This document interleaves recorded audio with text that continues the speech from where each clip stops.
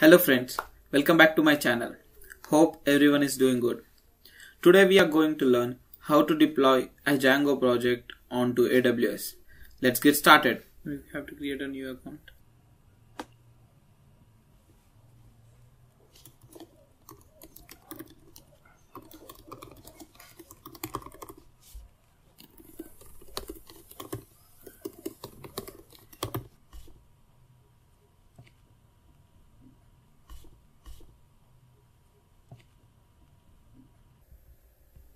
Click upon and continue.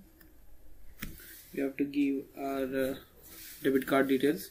Don't worry, only 2 rupees would be deducted from your account and that would be later refunded into your account. It's just to verify that you are a genuine user.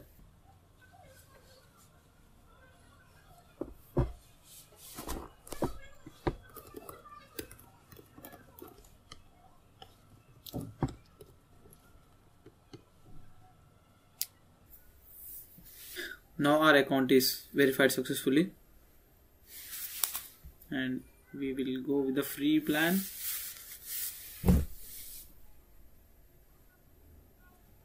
Okay my role is an academic or research. You can give anything websites and web apps. Submit thank you. Complete sign up let's sign into the console again.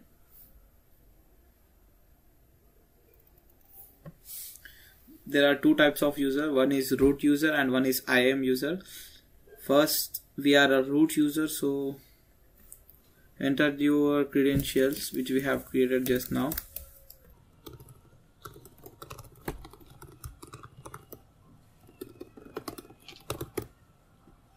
Now we are inside the AWS console first we will create uh, it's okay first we will create an IAM user.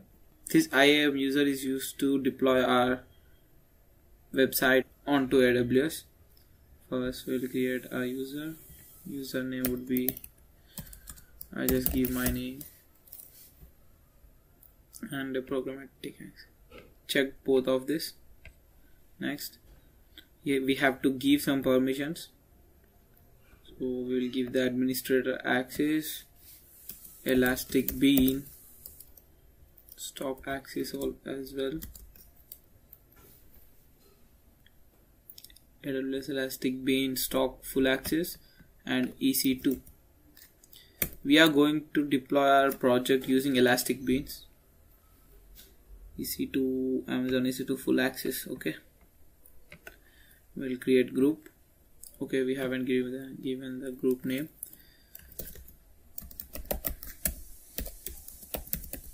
Group and just create group.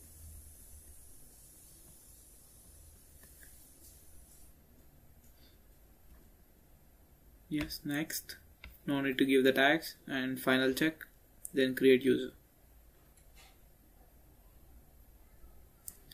Download the CSV file in case you have lost the CSV file we can get this again from the same user panel. And uh, users click on Omka and uh, then security credentials. You can click here and a new access key would be created for you and you can download that again. So let's open this credentials. Now AWS console thing is done we will go to our project. Here I have created a sample project. I'm opening it in VS Code.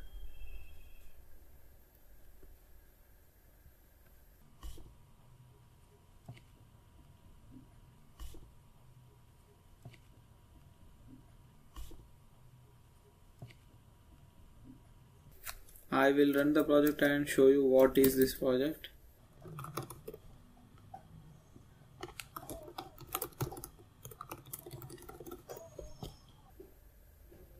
see it's a simple Django project and I have done nothing.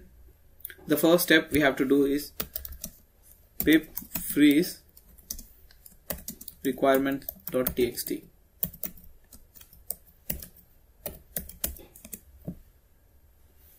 and you can see the requirements.txt file is created here.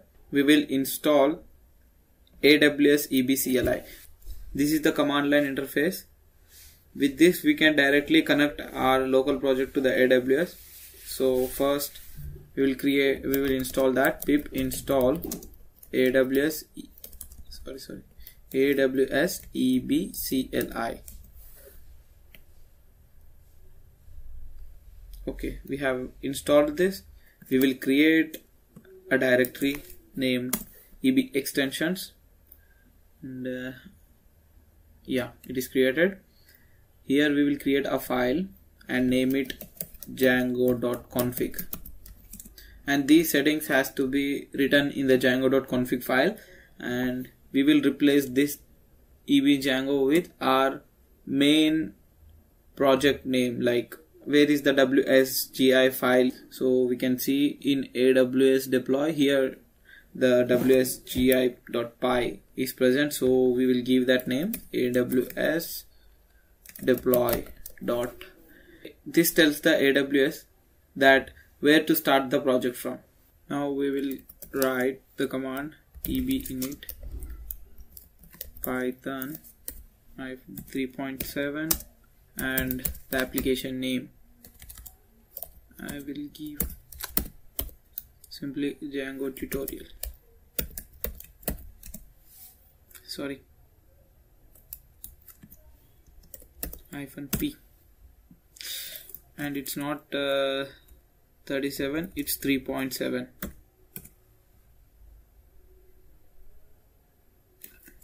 we have to give the credentials which we got here. Copy enter. The access key and enter uh, yeah application is created now. Inside the application we have to create our environment. First run this command ebinit sometimes we have to configure the settings. Click y. And key value pair is already created. Just just press enter yes and no paraphrase just enter and enter again. Yeah everything is clear now. Now we will create the environment. For that you have to write eb create and uh, any environment name. I am giving any name. And it takes some time so be patient. Yeah it has been deployed run this eb status. Command and this cname is the link where our uh, current project is hosted. So I'm copying this and go to settings file. And in the allowed hosts give this link. You have to deploy it again. Before that let's check what is there at this link right. Yeah you can see disallowed hosts. We haven't allowed this link to host our website. Django blocks it. So we are deploying it once again. It's done. And click eb open. Yeah you can see our first website has been hosted. But this is not done yet. We have to configure our static files also let's see our admin panel. This is not how it should look like because the static files haven't been loaded yet. So for that we have to do some more things. Here I haven't used any external static files. Whenever you use JS files or CSS files and any media files you have to configure the static files. For that you have to write few lines of code in django.config these lines of code helps you in loading the static files correctly. These container commands will run every time when you deploy the project. And here you can see we have these two words are extra because this makes sure that whenever you deploy your changes onto AWS, the static files will be reloaded completely. If you don't write these two lines, then the updated static files won't be reflected in your web browsers because the web browser caches these data and shows this data only, not the new CSS files or JS files. After this, we have to run one command python manage.py collect static. Yes, I haven't uh, given the static root setting. Go into the settings file and and write this code. And now we will run the collect static file. Import this OS